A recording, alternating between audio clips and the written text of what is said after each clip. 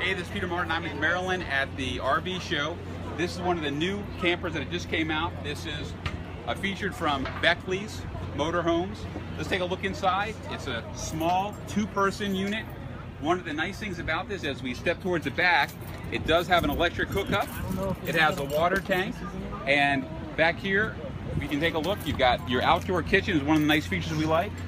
One of the things that we like about it is you can pull this out, and this is a refrigerator or a freezer. It can't be both. You have to set the temperature, but you do have this included.